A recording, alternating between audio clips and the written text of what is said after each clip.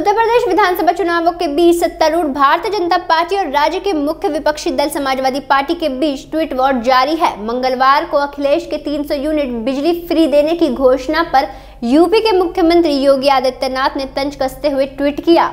बाप मार डारिस अंधियारे में बटवा बना बा पावर हाउस दरअसल सपा मुखिया अखिलेश यादव ने मंगलवार को चुनाव से पहले बड़ा चुनावी दाव खेला है। सूबे के पूर्व मुख्यमंत्री अखिलेश ने ऐलान किया कि उनकी सरकार बनी तो लोगों को 300 यूनिट फ्री बिजली मिलेगी। जो 300 यूनिट मुफ़्त बिजली चाहते हैं, उनके नाम रजिस्टर करने के लिए सपा अभियान चलाएगी। वही सोमवार को योगी आदित्यनाथ के ट्विटर हैंडल से किए ट्वीट पर समाजवादी पार्टी ने भी उसी अंदाज में जवाब दिया। दरअसल यूपी चुनाव में चल रहे जातिवाद के मुद्दे पर निशाना साधते हुए सीएम योगी ने राष्ट्रकवि रामधारी सिंह दिनकर की कविता ट्वीट करते हुए लिखा, पाते हैं सम्मान तपोबल के भूतल पर शूर। जाति जाति का शोर मचाते केवल कायर क्रूर इसके बाद बीजेपी की उत्तर प्रदेश इकाई में रामधारी सिंह दिनकर की कविता से ही सपा के ट्वीट पर जवाब दिया।